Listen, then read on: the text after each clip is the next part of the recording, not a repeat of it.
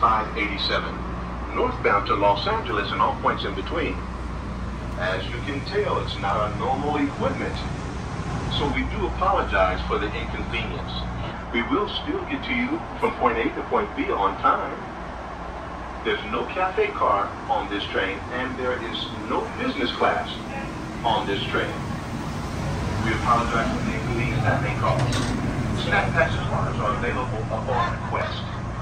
And if you would like to receive a $5 voucher that can be used towards a future purchase in the cafe car, we encourage you to call 1-800-USA Rail and provide your reservation number.